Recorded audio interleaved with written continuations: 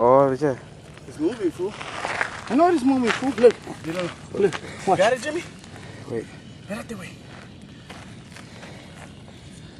Oh, it's a stick. Um. Huh? Dame, güey. Cálmate, güey. Déjalo. Déjalo, zombie. This is some of the creatures that you can encounter at this mountain. Uh, this one here is about five inches long. It does like to mate with other uh, male uh, prostitutes in, in the mountains. Uh, as you can see, it has it has four feet and it has two long uh, cantinflas uh, mustaches. Um, and you can see the the ass. Well, that's where they poop from.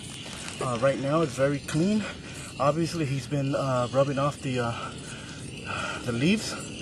Uh, he was wanting to go up, uh, but creatures like this do not make it very long uh, on this mountain.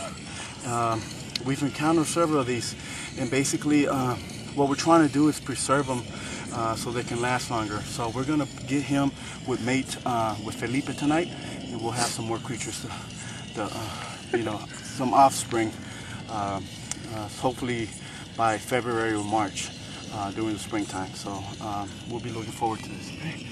Uh, and again, you can check us out on www.fuckthismountain.com. um.